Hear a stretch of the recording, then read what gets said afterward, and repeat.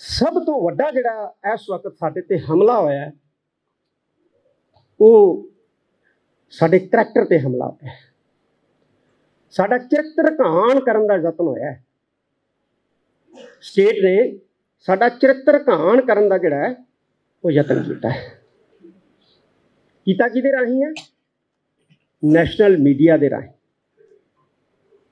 ਸਾਡੇ ਕੋਲੇ ਬਹੁਤ ਸਾਰੀਆਂ ਰਿਪੋਰਟਾਂ ਆਈਆਂ। ਬੰਬੇ ਦੇ ਵਿੱਚ ਨਾਰੀਮਨ ਪੁਆਇੰਟ ਦੇ ਉੱਤੇ ਇੱਕ ਐਡ ਚੱਲ ਰਹੀ ਹੈ। ਉਹਦੇ ਤੇ ਲਿਖਿਆ Punjab game of fight and Sikh Sikh ਲਿਖਣਾ ਸੀ, ਲੇਕਿਨ ਲਿਖਿਆ ਸਿੱਖ ਐਸ ਆਈ ਕੇ ਐਚ ਔਰ ਅੱਗੇ ਲਿਖਿਆ ਹੂ ਵਿਲ ਨੈਬ ਅੰਮ੍ਰਿਤ ਅੰਮ੍ਰਿਤਪਾਲ ਨਹੀਂ ਲਿਖਿਆ ਅੰਮ੍ਰਿਤ ਬੜੀ ਵੱਡੀ ਇੱਕ ਪਲੈਨਿੰਗ ਤਹਿਤ ਲਿਖਿਆ ਗਿਆ। ਔਰ ਜੀਕੇ ਸਾਹਿਬ ਨੇ ਗੱਲ ਕੀਤਾ ਕਿ ਪੀਐਮ ਦੇ ਵੈਬਸਾਈਟ ਦੇ ਪੋਰਟਲ ਦੇ ਵਿੱਚ ਇਹ ਮੈਂਸ਼ਨ ਕਰ ਦਿੱਤਾ ਗਿਆ ਹੈ ਕਿ ਜੇ ਕਿਸੇ ਸਿੱਖ ਜੀਕੇ ਸਾਹਿਬ ਕਹਿ ਕੇ ਗਏ ਹੈ ਕਿ ਲਿਖਿਆ ਕਿ ਜੇ ਕਿਸੇ ਸਿੱਖ, ਚਾਹੇ ਉਹ ਵਿਦੇਸ਼ੀ ਹੈ, ਚਾਹੇ ਭਾਰਤੀ, ਉਹਦੇ ਖਿਲਾਫ ਜੇ ਕੋਈ ਤੁਹਾਨੂੰ ਗੱਲਬਾਤ ਨਜ਼ਰ ਆਉਂਦੀ ਹੈ ਤੇ ਤੁਸੀਂ ਦੱਸ ਸਕਦੇ ਹੋ। ਤੇ ਸਿੱਖ ਦੇ ਨਾਲ ਮੁਸਲਮ ਵੀ ਲਿਖਿਆ ਹੋਇਆ ਹੈ। ਸਾਡੇ ਤਾਂ ਰੌਲੇ ਹੁੰਦੇ ਆ। ਵੱਟਾਂ ਦੇ ਰੌਲੇ ਆ, ਪਾਣੀ ਦੇ ਰੌਲੇ ਆ, ਕੰਧਾਂ ਕੌਲਿਆਂ ਦੇ ਰੌਲੇ ਆ। ਕੋਈ ਮਰਜ਼ੀ ਲਿਖ ਕੇ ਪਾ ਦੂਗਾ ਕਿ ਇਹ ਤਾਂ ਜੀ ਵੱਖਵਾਦੀ ਹੈ। ਨੁਕਸਾਨ ਹੋਊ ਸਾਡਾ।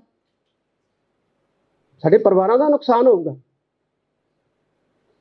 ਇਹ ਕਿਸੇ ਆਮ ਪਰਸਨ ਦੀ ਵੈਬਸਾਈਟ ਦੇ ਪੋਰਟਲ 'ਚ ਨਹੀਂ ਹੈ। ਦੇਸ਼ ਦੇ ਪ੍ਰਧਾਨ ਮੰਤਰੀ ਦੀ ਵੈਬਸਾਈਟ ਦੇ ਪੀਐਮਓ ਦੀ ਵੈਬਸਾਈਟ ਦੇ ਪੋਰਟਲ ਦੇ ਵਿੱਚ ਹੈ। ਇੱਥੋਂ ਸਾਡੇ ਲਈ ਚਿੰਤਾ ਕਰਨੀ ਬਣਦੀ ਔਰ ਅੱਜ 18 ਤਰੀਕ ਤੋਂ ਲੈ ਕੇ ਅੱਜ ਤੱਕ ਨੈਸ਼ਨਲ ਮੀਡੀਆ ਤੇ ਲਗਾਤਾਰ ਹੀ ਸਾਡੀ ਜਿਹੜੀ ਇਮੇਜ ਹੈ, ਇਹਨੂੰ ਡੈਮੇਜ ਕਰਨ ਦਾ ਜਿਹੜਾ ਯਤਨ ਹੋ ਰਿਹਾ ਕਿਉਂ? ਇਹ ਵੀ ਕਾਰਨ ਹੋ ਸਕਦਾ ਹੈ ਕਿ ਕਿਸਾਨ ਅੰਦੋਲਨ ਦੇ ਵਿੱਚ ਜੋ ਸਾਡੀ ਇਮੇਜ ਉੱਭਰ ਕੇ ਸਾਹਮਣੇ ਆਈ ਹੈ, ਹੁਣ ਫਿੱਕੀ ਪਾਉਣਾ ਹੋਏ। ਉਹ ਫਿੱਕੀ ਪੈ ਨਹੀਂ ਸਕਦੀ। ਸੀ ਜਿਸ ਤਰ੍ਹਾਂ ਦਾ ਵਰਤਾਰੇ ਨਾ ਵਰਤਦੇ। ਠੀਕ ਹੀ ਨਹੀਂ ਸੀ ਪੈਣੀ। ਭਾਰਤ ਦੇ ਵਿੱਚ, ਦੇਸ਼ ਵਿਦੇਸ਼ ਦੇ ਵਿੱਚ ਵਿਚਰਦਿਆਂ ਲੋਕ ਸਾਨੂੰ ਸਤਕਾਰ ਦੀਆਂ ਨਜ਼ਰਾਂ ਨਾਲ ਦੇਖਣ ਲੱਗ ਪਏ। ਸਤਕਾਰ ਦੀਆਂ ਨਜ਼ਰਾਂ ਨਾਲ ਦੇਖਣ ਲੱਗ ਪਏ। ਲੇਕਿਨ ਉਹ ਭੈਣ ਜੀ ਨੇ ਦੱਸਿਆ ਕਿ ਹੁਣ ਹੋਰ ਢੰਗ ਦੇ ਨਾਲ ਦੇਖਦੇ। ਹੁਣ ਹੋਰ ਢੰਗ ਦੇ ਨਾਲ ਦੇਖਦੇ। ਤਾਂ ਇਹ ਵਰਤਾਰਾ ਵਰਤਿਆ, ਵਰਤਾਇਆ ਗਿਆ। ਸਾਨੂੰ ਇਸ ਪੱਖੋਂ ਸਾਵਧਾਨ ਸੁਚੇਤ ਹੋਣ ਦੀ ਜ਼ਰੂਰਤ ਹੈ।